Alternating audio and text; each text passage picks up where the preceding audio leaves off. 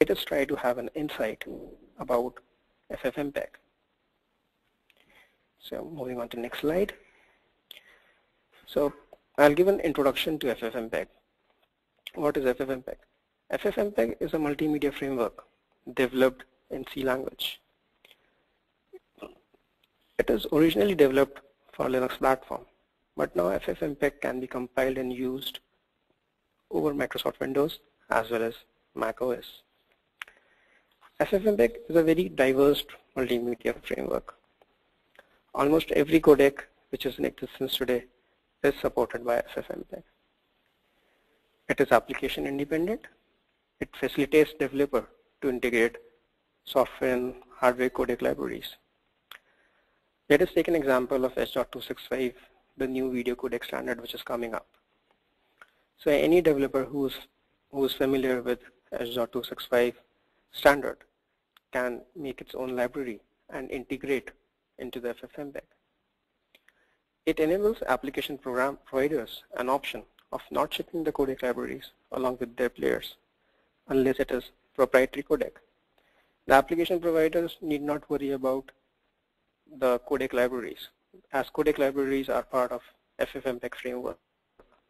So they can just release their media application and let FFmpeg take care of all the encoding and decoding needs.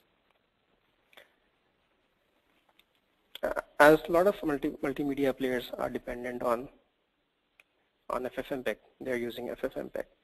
So the memory utilization goes low because there is no need to have multiple copies of a of a codec library. So the other features of FFmpeg are a developer can integrate a, a hardware codec. So it can leverage hardware acceleration features which are provided by the platform. Hardware acceleration can be provided by using GPU which is existing in the platform. The hardware acceleration supports enhanced performance by reducing the CPU utilization for multimedia processing. Main functionalities offered by FFmpeg. The main functionalities are uh, a user can decode, a user can encode, it can do transcoding, it can do a muxing, demuxing, streaming, and filter. I've listed just a few of the of the features with which FFmpeg supports, but these are the main ones. So moving on to next slide. FFmpeg command line tools. Basically, FFmpeg binary is used for for transcoding, that is conversion of multimedia files from one format to another format. It primarily uses libav codec library to access various codecs that it has to offer. It also comprises of a of a basic multimedia player which is called as FFplay. So FFplay in turn invokes FFmpeg libraries for doing a decode and a playback. For rendering purposes, it uses SDL library. So in a way, SDL becomes a prerequisite. If a user wants to wants to play a file using FFplay, it has to have SDL installed in their machines. FFprobe, it is a multimedia stream analyzer.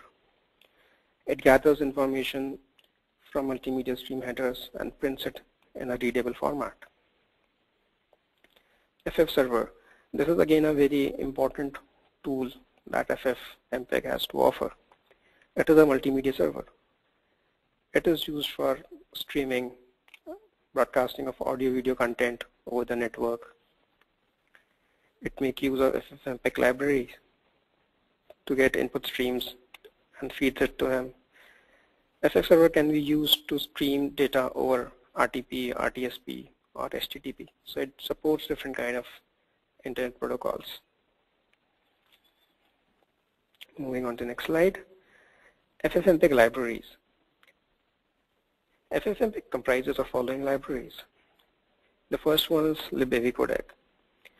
libav codec supports multiple decoders and encoders for different multimedia streams. It is in the form of a shared library, So this gives a favorable usage environment. libavutil. It contains utilities and routines which are common to different parts of FFmpeg. libswscale. It consists of routines for video resizing, conversion of image format, and color space. libsw resample. It consists of routine changing sampling rate, format conversion, channel layout of audio samples. There could be different channels stereo, mono, 5.1, 7.1. So libsw resample takes care of all those needs. libav format. It consists of routines to demux and multiplex various multimedia container formats. So whenever you try to do a playback, before doing a decode, muxing needs to be done. Demuxing needs to be done. So libav format takes care of that. libav device. It provides routines for audio video capture from input device and render it, render the audio video to output device. So libav device gives an option of AV capture. So nowadays AV capture is becoming a very common phenomena with with streams coming from from from a webcam or a USB camera. So libav device can be used for that particular feature. libav filter. So with this you can add watermarks and logos to your stream. So this kind of functionality can be taken care of by using libav filter.